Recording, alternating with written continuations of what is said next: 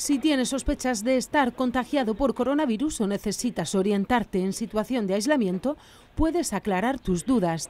En el apartado de cita previa de la web Murcia Salud encontrarás este autotest online. El cuestionario presenta cuatro entradas referidas a las situaciones que pueden estar viviendo los ciudadanos. En primer lugar, se encuentra la opción para personas que tengan síntomas o están preocupadas. El segundo supuesto está orientado a las personas aisladas o confinadas en sus domicilios, con una serie de indicaciones sobre lo que deben de hacer mientras permanezcan en su vivienda. La tercera entrada informa a aquellos que tienen el contagio confirmado y hace recomendaciones para la situación de confinamiento o para el caso de empeorar su salud en el domicilio.